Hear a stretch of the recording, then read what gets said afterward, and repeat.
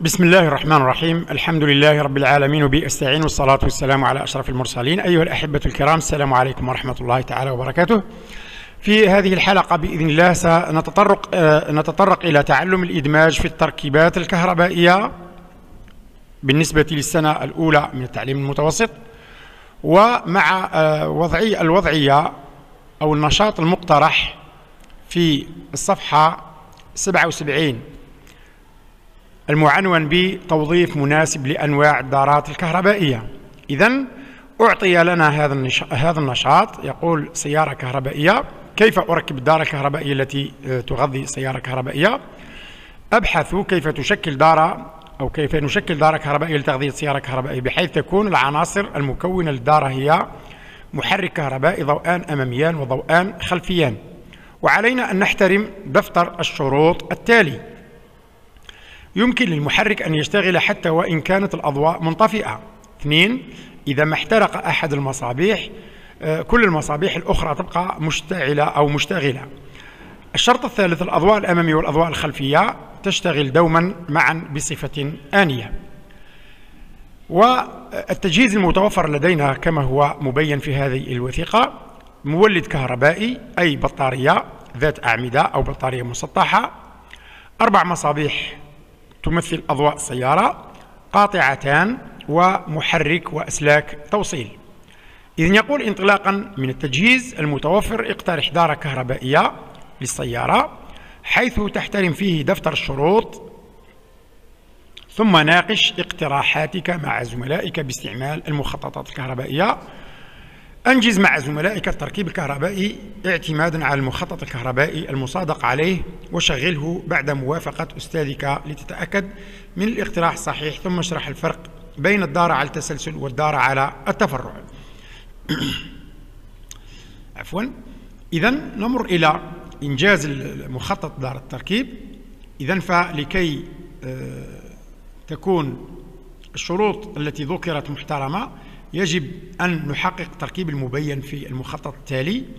إذا نلاحظ بأننا استعملنا آه، المصابيح على التفرع ونتحكم فيها بقاطعة لنحقق الشرطين الثاني والثالث.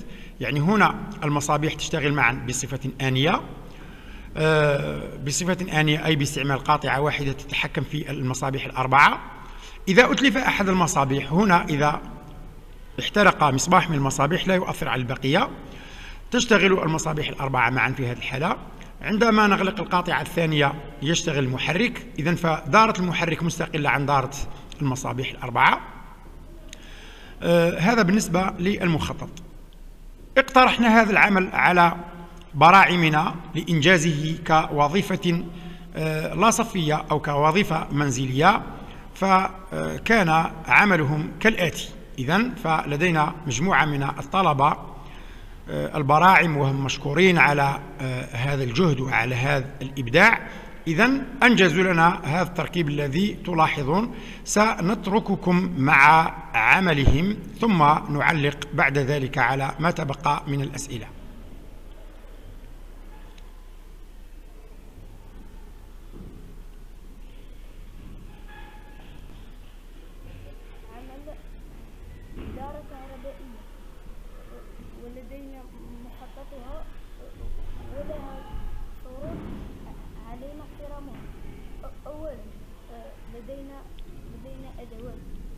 إذن كما تلاحظون احترموا الشروط التي وردت الشروط ثلاثة أربع مصابيح مربوطة على التفرع ومتحكم فيها بقاطعة واحدة ومحرك متحكم فيه بقاطعة مستقلة عن آه، المصابيح والكل مشترك في مولد واحد أو بطارية ذات عمودين.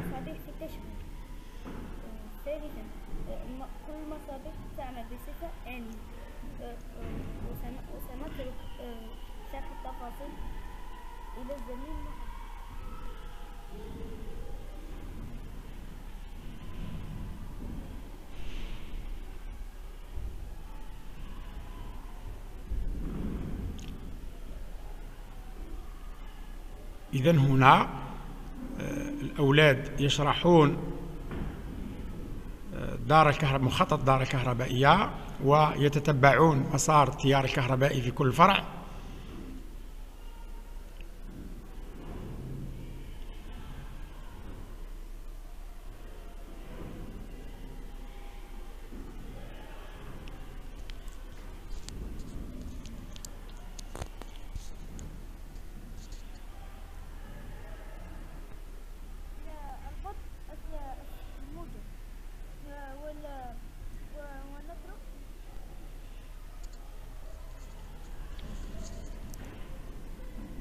Mm-hmm.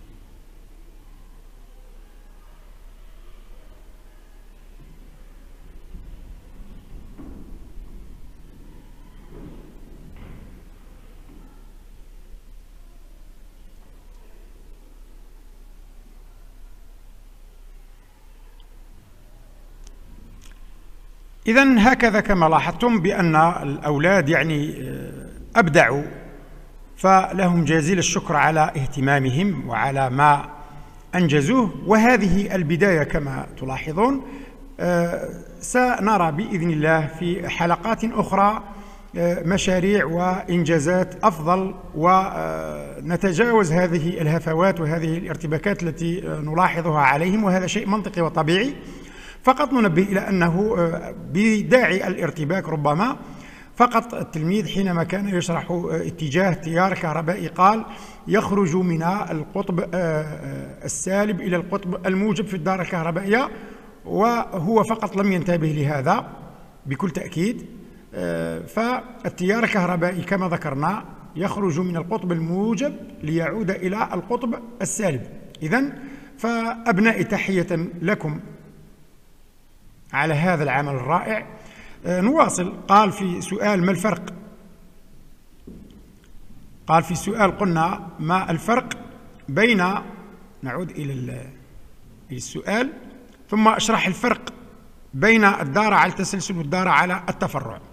إذا كما رأينا في تركيباتنا وفي تجاربنا أن في الدارة على التسلسل من أهم الفروق كما شرح التلاميذ. في تركيبهم وفي مشروعهم أن أهم الفروق إذا أتلف أحد العناصر فالتركيب على التسلسل إذا أتلف أحد العناصر أو نزع فتنقطع الدارة أو تفتح الدارة الكهربائية ولا تشتغل. هذا أهم عامل ومؤثر في الدارة في حين أن في التفرع لكل عنصر ولكل مصباح دارته الخاصة إذا أتلف لا يؤثر على البقية.